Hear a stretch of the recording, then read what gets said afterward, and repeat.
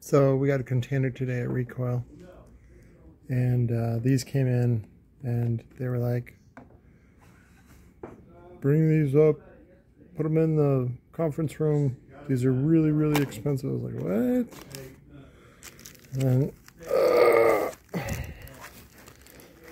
look at that. Big old slug of Neo on a tweeter. So, and it's kind of cute. It's uh, it takes the place of a six by nine, and then it's focused, angled. This is cast. See? See that? What do these retail for, Larry? Nine ninety nine. Nine ninety nine. Per pair. But there was, for some reason, there was like an error where they, they these were supposed to be shipped in pairs and they're not. They're shipped as singles, and so we're just trying to sort it out. Here's the measurements on that shit. There's the motor.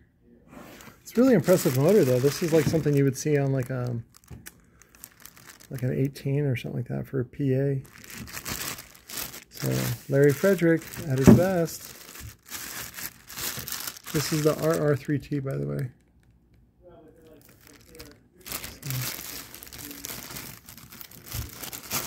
This real quick. 8 ohm, 300 watts RMS. You know would be really great is if uh, they made these standard for standard waveguides bolt pattern so that you could bolt on, you know, you could use it not just for this flange, but for like, you know, a big horn tweeter or something like that for like PA. And then that way it would open up your market to more customers.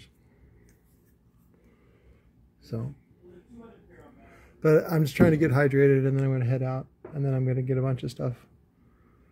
Love you guys. Later.